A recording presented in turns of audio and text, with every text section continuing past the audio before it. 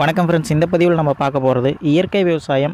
பெரும்பாலும் நஷ்டமடைகிறதுக்கு காரணம் என்ன அப்படின்னு சொல்லிட்டு பார்க்கலாம். ஏன்னு சொன்னால் ஜஸ்ட் ஒரு நாலு வருஷத்துக்கு முன்னாடி வரைக்கும் நான் ஒரு கம்பெனியில் தனியார் கம்பெனியில் ஒரு பதினாலாயிரரூபா சம்பளத்துக்கு வேலையில் இருந்தேன்.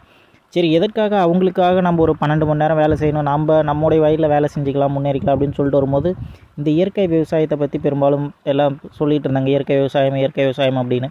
என்னுடைய அப்பா தாத்தாலாம் இந்த உரம் யூரியா அதெல்லாம் பயன்படுத்தி செஞ்சிகிட்டு இருந்தாங்க.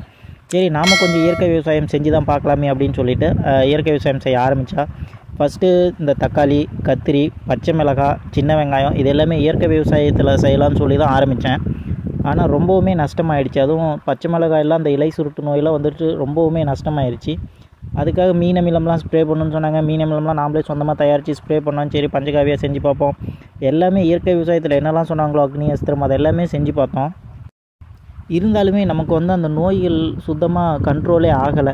இருக்க இருக்க நோய் அதிகமாகிட்டு தான் போச்சு. பிறகு அதுக்கப்புறம் எல்லாத்தையும் மாடு கட்டி மேய்ச்சிட்டு திரும்பவும் ஃபஸ்ட்டில் இருந்து உழவு ஓட்டி பயிர் பண்ண ஆரம்பித்து அப்புறம் இடையில கொஞ்ச நாள் திரும்பவும் நம்ம உரம் யூரியா அந்த கெமிக்கல் மருந்து அதெல்லாம் பயன்படுத்தி தான் செஞ்சுட்டு இருந்தோம். ஆனால் ஏன் இந்த இயற்கை விவசாயம் ஃபெயிலியர் ஆயிடுச்சு அப்படின்னு சொல்லி நம்ம தெரிஞ்சுக்கிறதுக்காக ஒரு சில இந்த இயற்கை வேளாண்மை வகுப்புகள்லாம் எடுத்தாங்க. அங்கங்கே நம்ம அந்த ட்ரைனிங் கிளாஸில் போய் அட்டன் பண்ணுறதான வாய்ப்புகள்லாம் கிடச்சிச்சு. காரணம் என்னன்னா நம்ம யூனியனில் இருக்கக்கூடிய அந்த அக்ரி வந்து நமக்கு தெரிஞ்சவர் எங்கனாச்சும் இந்த பயிற்சி அந்த மாதிரி மீன் வளர்ப்பு ஆடு வளர்ப்பு அந்த மாதிரி எதுனாலும் அவர் சொல்லிடுவார். நம்ம போயிட்டு அட்டன் பண்ணுவோம்.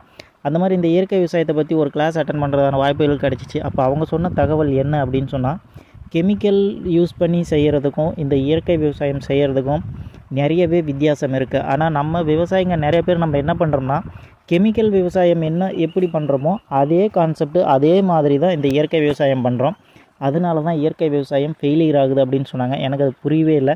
பிறகு என்ன விஷயம் அப்படின்னு சொல்லிட்டு கொஞ்சம் டீட்டெயிலாக சொன்னாங்க. இப்போது நம்ம உதாரணத்துக்கு இந்த மிளகாய் செடியே எடுத்துக்கலாம். மிளகாய் செடியில் வந்து பார்த்திங்கன்னா இந்த இலை சுருட்டு நோய் அப்படின்றது ரொம்பவுமே அதிகமாக வரும். அதே மாதிரி கத்திரிக்காய் செடியில் தண்டு புழு தாக்குதல் காய்ப்புழு தாக்குதல் ரொம்பவுமே அதிகமாக இருக்கும். இந்த மிளகாய் செடியில் வரக்கூடிய இலை சுருட்டல் நோய்க்கு மீனமிலம் ஸ்ப்ரே பண்ணோம்னு சொன்னால் அந்த நோய் மே ஓரளவு கண்ட்ரோல் ஆகிடும் திரும்ப செடி நல்லா துளிர்த்து வந்து நிறைய காய் வைக்கும் அப்படின்றது இயற்கை விவசாயத்தில் சொல்லியிருக்காங்க. நான் அது செஞ்சேன். கண்டிப்பாக ஆகலை அந்த மாதிரி. ஏன்னா டோட்டலாக ஃபெயிலியரு இருக்கிற ஒரு அரை ஏக்கர் நம்ம ஒசூர்லேருந்து கன்று வாங்கிட்டு வந்து டோட்டல் ஃபெயிலியரு அதே தான் இவரும் சொல்கிறார் அப்படின்னா ஆனால் அவர் சொன்ன விதம் என்ன அப்படின்னு சொல்லி பார்த்தீங்கன்னா ஒரு இலை சுருட்டல் நோய் வருது அப்படின்னு சொன்னால் நாம் இப்போ ஒரு கெமிக்கல் மருந்து யூஸ் பண்ணுறோம் டெலிகேட் அப்படின்னு சொல்லிட்டு ஒரு கெமிக்கல் மருந்து இருக்குது மேக்ஸிமம் அது யூஸ் பண்ணுவாங்க. அந்த கெமிக்கல் மருந்து வந்து ஒரு டேங்க்குக்கு முப்பது மில்லி அப்படின்ற அளவில் போட்டு நம்ம ஸ்ப்ரே பண்ணுறோம் அப் ஒரே டைம் ஸ்ப்ரே பண்ணால் போதும் அந்த நோய் வந்து வராது. சரிங்களா? ஆனால் இயற்கை விவசாயமும் சேம் அதே மாதிரி தான் நான் செய்வேன். அதாவது ஒரே டைம் தான் ஸ்ப்ரே பண்ணுவோம் அதுக்கு மேலே பண்ண மாட்டேன் அப்படின்னு சொன்னால் கண்டிப்பாக அது ஃபெயிலியர் தான் ஆகும். அப்போது என்ன பண்ணணும் அப்படின்னா இப்போ அந்த செடியினுடைய நோய் தாக்குதல் எந்த அளவில் இருக்குது மேக்ஸிமம் இயற்கை விவசாயம் அப்படின்னா நோய்கள் வர்றதுக்கு முன்னாடியே நம்ம அதை காப்பாற்றிடணும் அதுதான் இயற்கை விவசாயத்தில் ரொம்ப முக்கியம். நோய் வந்ததுக்கப்புறம் அது கூட நம்ம சண்டை போட்டுட்ருக்கக்கூடாது இப்போ கெமிக்கல் விவசாயம் அப்படின்னா நோய்கள் வரதுக்கு முன்னாடி நம்ம எதுவுமே பண்ண தேவையில்லை.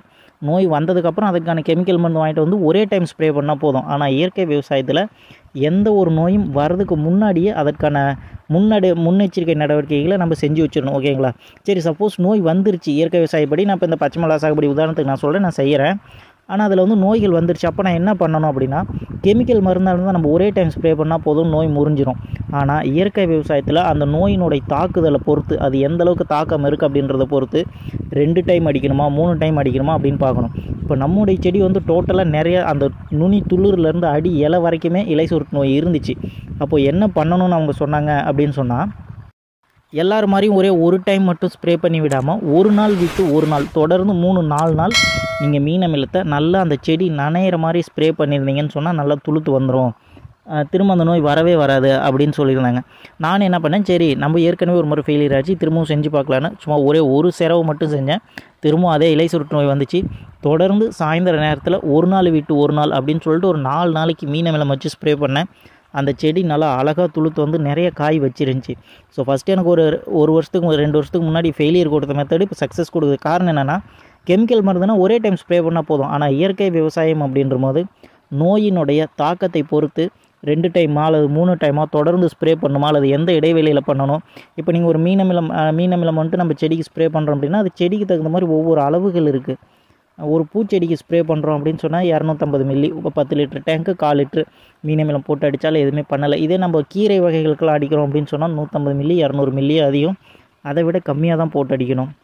இப்போ கத்திரி செடியில் வரக்கூடிய அந்த தண்டு புழு தாக்குதல் காய் புழு தாக்குதலுக்குலாம் வந்துட்டு பார்த்திங்கன்னா நம்ம அக்னி அஸ்திரம் பயன்படுத்துகிறோம் சும்மா ஒரே ஒரு டைம் ஸ்ப்ரே பண்ணி விட்டுட்டா காய் சரியாக அந்த புழுவெலாம் செத்து போயிடும் அப்படின்னா கண்டிப்பாக எதுவுமே ஆகாது.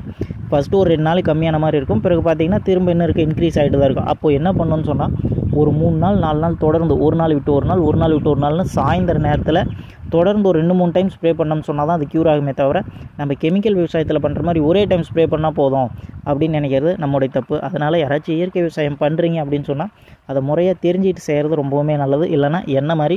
ஃபஸ்ட்டு எடுத்ததுமே ஏறக்குறைய ஒரு முப்பதாயிரரூவா நமக்கு இதில் லாஸு அந்த செடிகள் வாங்கினது ஓலை ஓட்டது பார் போட்டது அதெல்லாம் அந்த மாதிரி தான் உங்களுக்கும் நஷ்டம் ஏற்பட வாய்ப்பு இருக்குது அதனால் இயற்கை விவசாயம் அப்படின்றத தெளிவாக தெரிஞ்சுட்டு பண்ணுங்கள் சும்மா ஒரு முறை ரெண்டு முறை மருந்து அடிச்சுட்டு சக்ஸஸ் ஆகலை அப்படின்னு சொல்லக்கூடாது. கெமிக்கல் வேறு இயற்கை விவசாயம் அப்படின்றது வேறு. இதில் செய்யும் போது ஒரு நோய்கள் வருதுன்னு சொன்னால் வரதுக்கு முன்னாடியே நம்ம அதுக்கு ப்ரிகாஷன் அதாவது பத்து நாள் இந்த நோய் வருதோ இல்லையோ அதற்கான நம்ம அந்த க்ரோத் பூஸ்டர்னு சொல்லக்கூடிய வளர்ச்சி ஊக்கியாகட்டும் அல்லது மருந்தா நம்ம பூச்சி விரட்டிகள் எல்லாமே ஸ்ப்ரே பண்ணிணுமே தவிர பூச்சி வந்ததுக்கப்புறம் அது கூட சண்டை போட்டுட்டு இருக்கக்கூடாது ஓகே ஃப்ரெண்ட்ஸ் இந்த விஷயம் உங்களுக்கு எந்த அளவுக்கு பயனுள்ளதாக இருக்குன்னு தெரியல. ஒருவேளை பயனுள்ளதாக இருந்தாலும் இல்லாட்டியும் உங்கள் கூட வேலை செய்கிற யாருக்காச்சும் விவசாயத்தில் இன்ட்ரெஸ்ட்டாக இருக்குது அல்லது விவசாயம் செய்கிறாங்க கொஞ்சமாக நிலம் வச்சுருக்காங்க அல்லது வீட்டு தோட்டம் எதுவும் வச்சு பராமரிக்கிறாங்க அப்படின்னு சொன்னால் அவங்களுக்கு இந்த வீடியோ ஷேர் பண்ணுங்கள் ரொம்பவுமே யூஸ்ஃபுல்லாக இருக்கும். ஏன்னா இப்போலாம் வந்துட்டு பார்த்திங்கன்னா சிட்டியில் இருக்கவங்க கூட வீட்டு தோட்டம் வச்சுட்டு இயற்கை விவசாயம் செய்கிறேன் நான் எனக்கு நல்லபடியான காய்கறிகள் வேணும்னு செய்கிறாங்க. ஆனால் திரும்ப பார்த்திங்கன்னா அது இயற்கை விவசாயம் ஃபெயிலியர் அப்படின்னு சொல்லிட்டு தான் நமக்கு ரிசல்ட் சொல்கிறாங்க. ரீசன் என்னென்னா